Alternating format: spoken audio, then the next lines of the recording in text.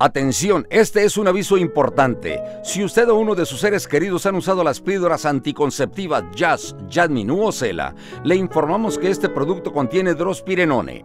En estudios médicos y científicos se ha demostrado que estas píldoras aumentan el riesgo de graves efectos secundarios como infartos cardíacos, embolia cerebral o pulmonar, trombosis de venas profundas conocidas como TBP, coágulos de sangre en las arterias y enfermedades de la vesícula.